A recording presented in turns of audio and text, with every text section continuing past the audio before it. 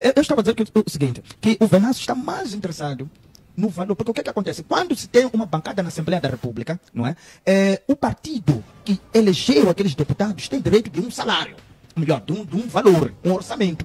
Então, é isso que interessa ao senhor Venâncio. Não é interesse, não é o bem comum como se explica no manifesto eleitoral dele. Então, não é verdade. Não, senhor Justino. Então, esta aliança aqui, porque ele podia avançar independentemente, independente.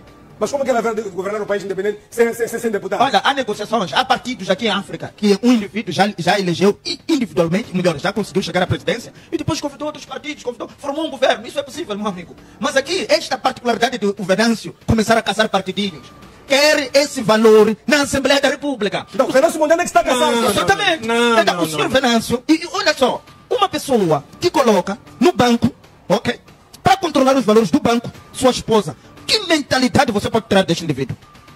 Qual é a. a Quem está controlando os valores do banco?